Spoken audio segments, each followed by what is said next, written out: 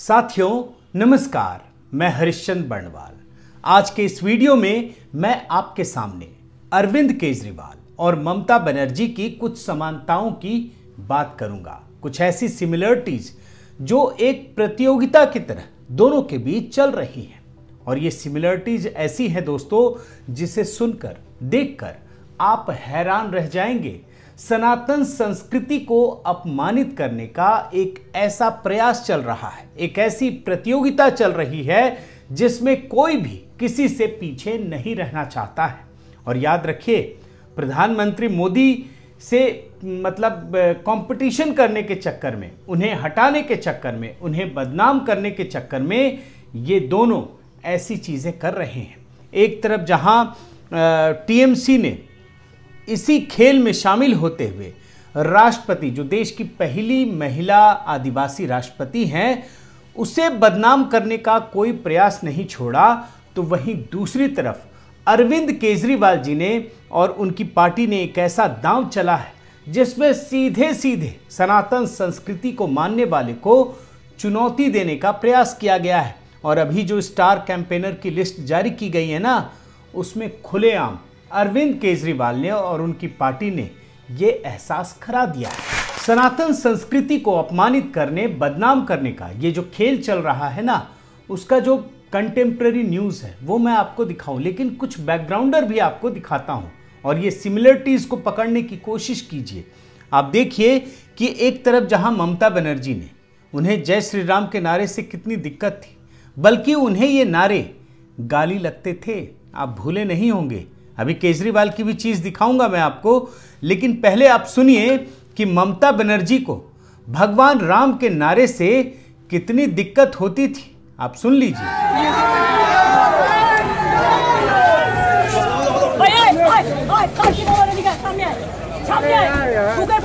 तो ये ममता बनर्जी की बात है लेकिन अरविंद केजरीवाल को भी भगवान राम से बड़ी दिक्कत थी और ये कई कहानियाँ सुनाते थे नानी वाली कहानी तो आपको याद होगी।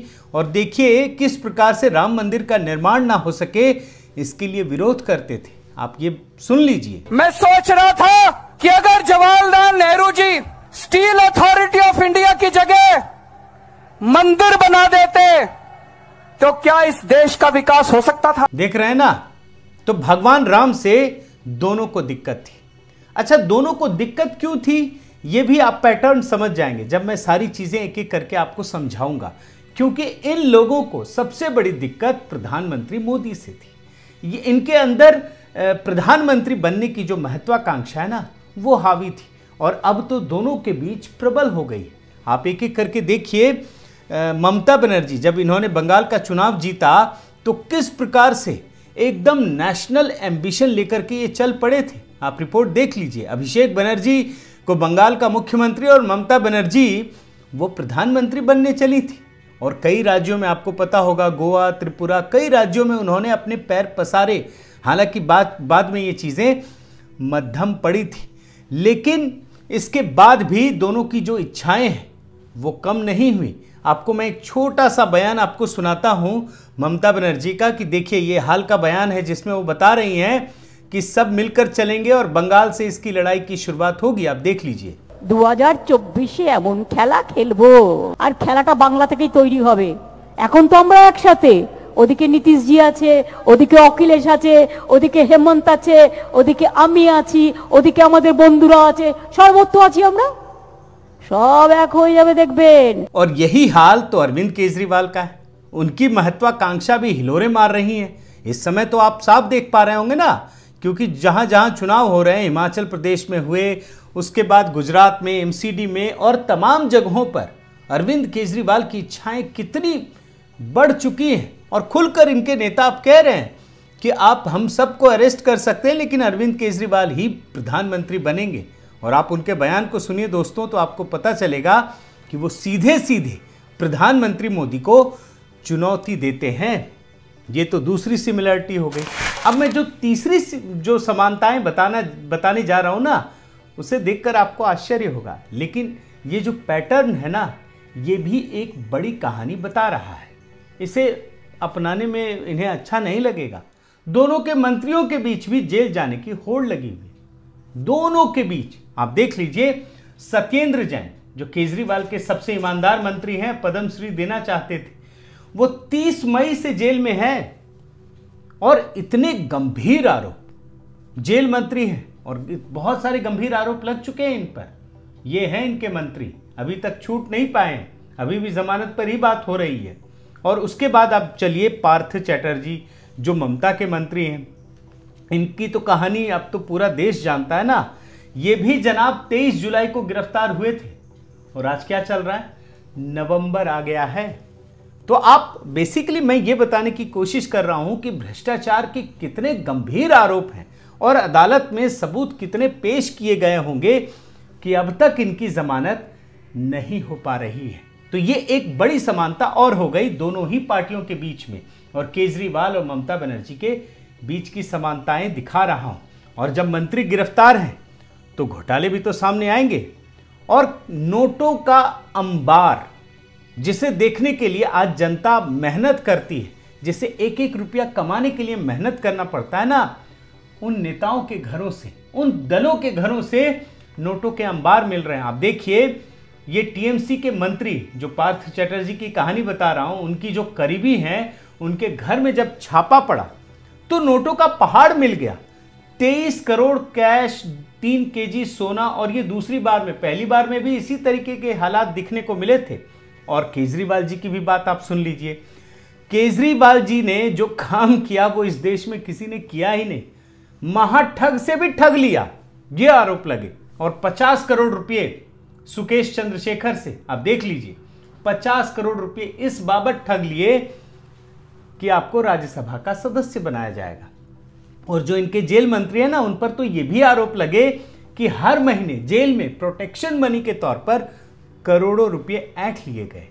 इसके अलावा एक और बात दिखाता हूँ, हालाँकि मैंने इनके स्कैम पर तो ए टू जेड घोटाला दिखा दिया है। आप देखिए, ये बिल्कुल नई खबर है। सौ करोड़ की रिश्वत शराब घोटाले के मामले में जानकारी निकली है। आप सिर्फ़ हेडर पढ़िए, सौ करोड़ की रिश्वत सिसोदिया समेत चौंतीस वीआईपी ने बदले 140 फ़ोन शराब नीति पर ईडी का बड़ा दावा। अब आप समझिए, सैकड़ों करोड़ का घोटाला है ये शराब घोटाला। और इसमें जिस तरीके के पैटर्न सामने आ रहे हैं, आप यकीन मानिए, हालाँकि केजरीवाल की पार्टी थोड़ी चालाक है। पैसों को ऐसे नहीं मिलेगी जैसे बाकियों के यहाँ मिल जाता है। यहाँ तो अलग तरीके का घपला है, घोटाला है। और ये जो ऐड दिखता है ना टीवी में, अखबारों में, इसी की वजह से ये चीज़ें सामने नहीं आ पा रही अब मैं आपको इनकी ताज़ा खबर दिखा देता हूँ, जिसकी वजह से मुझे ये स्टोरी बनानी पड़ी, ये वीडियो बनाना पड़ा।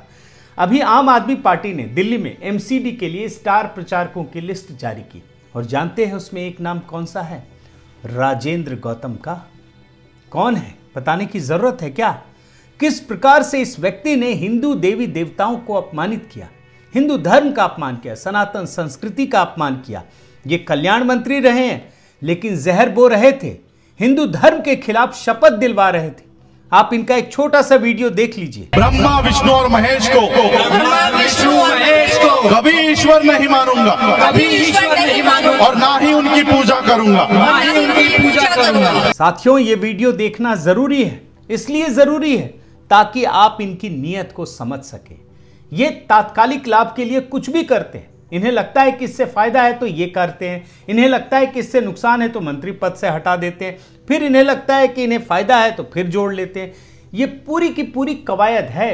अब आपके मन में ये सवाल उठ रहा होगा कि आखिर ऐसा क्यों किया इन्होंने? क्यों कर दिया? तो उसके लिए आपको कुछ बयान दिखाता हूँ।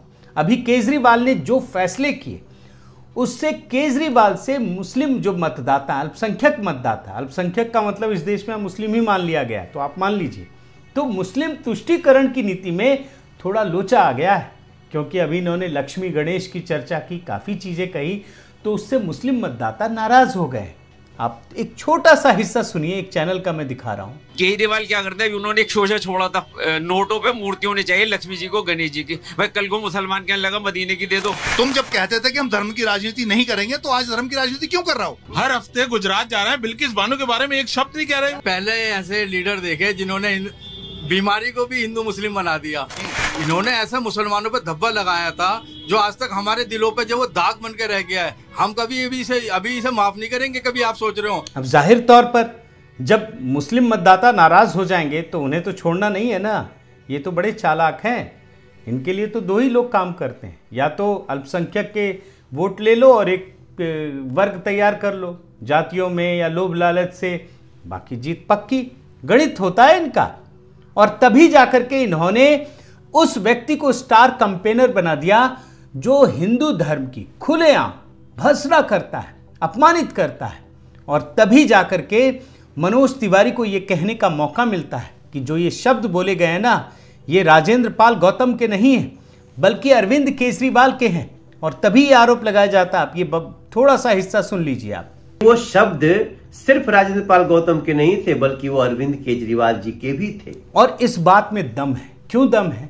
केजरीवाल की नीयत यही मंशा यही वो भले ही खुद को हनुमान भक्त बताते हो, खुद को भले ही वो कृष्ण का अवतार बताते हो, खुद को भले ही तमाम धर्म ग्रंथों और भगवानों से तुलना करते हो, लेकिन सच्चाई ये है कि उनकी नीयत खराब है और तभी तो उन्होंने गुजरात में उस व्यक्ति को स्टार कैंपेनर बना दिया जो हिंदू धर्म की, प्रधानमंत्री मोदी की तो खैर कोई बात नहीं, आप गाली देते रहिए। उसमें भी लोग नाराज़ होते हैं। लेकिन ये खुल करके प्रधानमंत्री मोदी का विरोध करने के लिए हिंदू धर्म का भी अपमान करता रहा है।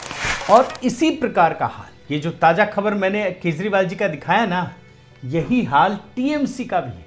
अब टीएमसी ने एक ऐसा काम किया, ऐसा घिनौना काम किया है, जिसे सुनकर आप हैरत में पड़ जाएँगे। ये कौन सा मंत्री देखिए क्या कह रहे हैं एक बार सुनिए बांग्ला में कह रहे हैं लेकिन मैं आपको अर्थ भी बताता हूँ सुनिए আমরা রূপের বিচার করি না তোমার রাষ্ট্রপতির চেয়ারকে আমরা সম্মান করি তোমার রাষ্ট্রপতি কেমন দেখতে বাবা और ये जो टीएमसी के मंत्री बोल रहे हैं ना किसे बोल रहे हैं भारत की उस पहली महिला आदिवासी राष्ट्रपति को द्रौपदी मुर्मू को जो पहली बार बनी है इस देश में आज तक कभी किसी पार्टी ने किसी आदिवासी महिला को राष्ट्रपति नहीं बनाया, जबकि इतना, इतनी बड़ी जनसंख्या है।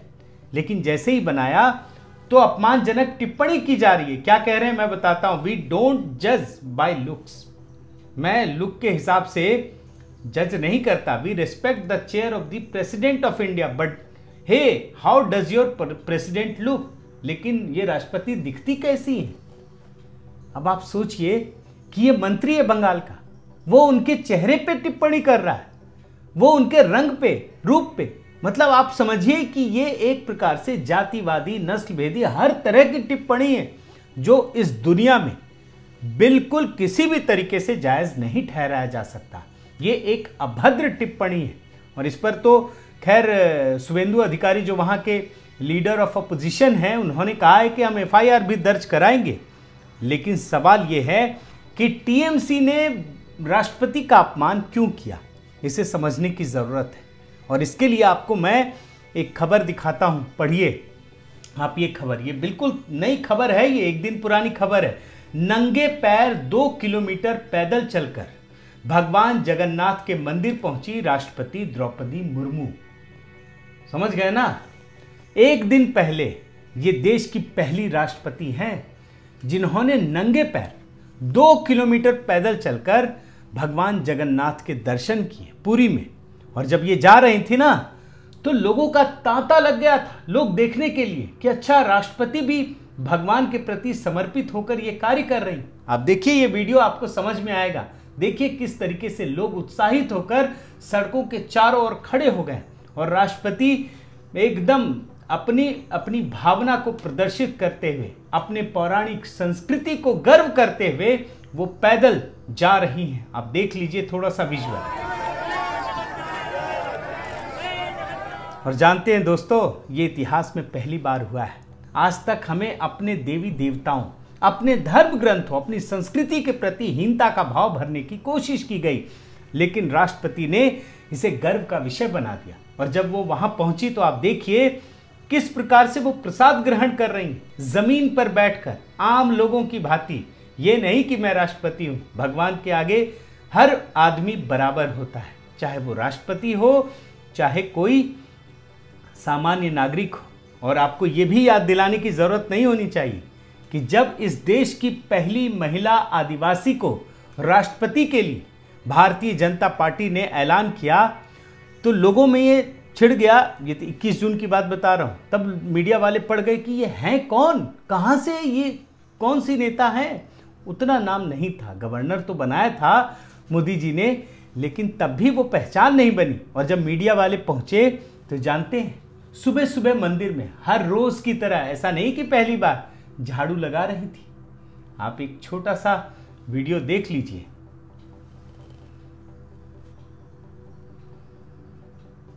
और इन्हीं तस्वीरों को देख करके इनको मिर्ची लग गई। ये जो कांग्रेसी है ना उनको मिर्ची लग गई। ये पूरा का पूरा इकोसिस्टम तो एक ही है।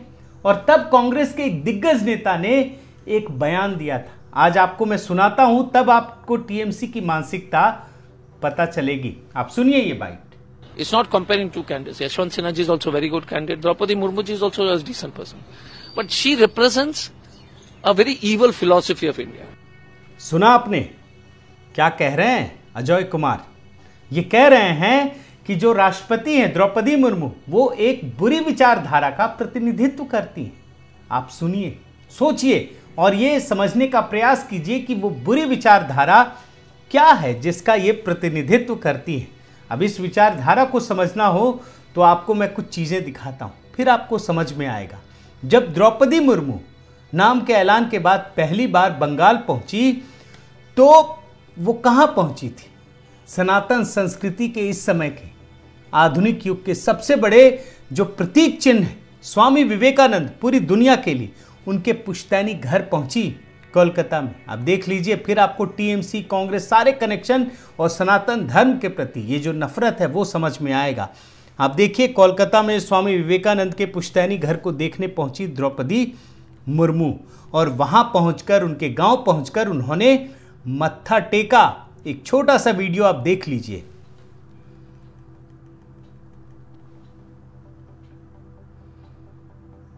और इसीलिए आदिवासी महिला राष्ट्रपति हैं, बनाया नहीं, लेकिन जैसे ही सनातन धर्म के प्रति इनकी भक्ति दिखी, नफरत का भाव फैल गया इनके बीच में। और एक नैरेटिव बनाने की कोशिश की गई कि ये ठीक नहीं है, ये अच्छा नहीं है। आप देखिए जो इनके गैंग के एक प्रमुख सदस्य हैं, प्रशांत भूषण, उन्होंने एक झूठी तस्वीर को पोस्ट कर दिया और बताया कि द्रौपदी मुर्मू, संघ प्रमुख के साथ नतमस्तक है। आप ये रिपोर्ट देख लीजिए।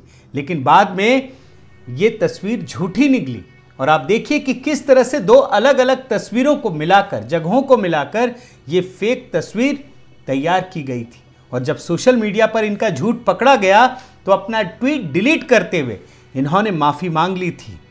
और याद रखिए कि जब मैं प्रशांत भूषण की बात कह रहा हूँ ना तो ये वही व्यक्ति हैं जो अभी हाल ही में भारत जोड़ो यात्रा में शामिल हुए थे। आप समझिए, ये मोदी से नफरत करने के चक्कर में ये पूरा का पूरा लेफ़्ट लिबरल गैंग कुछ भी कर सकता है। ये किसी से भी मिल सकता है, ये किसी के साथ भी खड़ा हो सकता है। सिर्फ़ एक ही मकसद है, मोदी का विरोध करना। और इसी वजह से ये सनातन संस्कृति का भी खुलकर विरोध में उतर आए हैं। वो चाहे ममता बनर्जी हो या फिर अरविंद केजरीवाल। साथियों, इस देश के लोकतंत्र में तमाम दलों की अपनी जगह है, अपनी मर्यादाएँ हैं। तमाम दल आगे बढ़ने के लिए, सत्ता हासिल करने के लिए प्रतियोगिता करते हैं और पूरी दुनिया में होता है और यही तो लोकतंत्र की खूबसूरती है।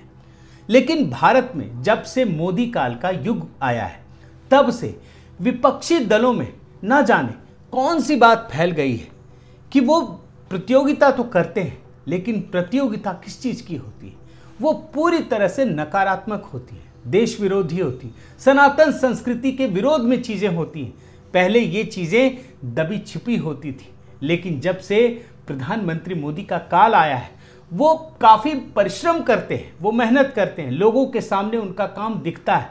तब से जा कर के ये सारी चीज़ें खुलकर मैदान में सामने आ गई और इस बात को मैं अच्छी बात बता रहा हूँ, ये अच्छी बात है देश के लिए कि लोग समझ रहे हैं, इस देश की जनता समझ रही है। और इसे ही आगे इसी प्रकार से ना केवल समझने की ज़रूरत है, बल्कि हम सबको मिलकर इसका पर्दाफाश करने की भी ज़रूरत है। बहुत बहुत धन्यवाद। आपसे निवेदन है दोस्तों कि आप मेरे इस चैनल को ज़रूर सब्सक्राइब कीजिए, लाइक कीजिए, शेयर कीजिए, कमेंट कीजिए और इस बेल आइकन को प्रेस करना मत भूलिएगा। नमस्कार।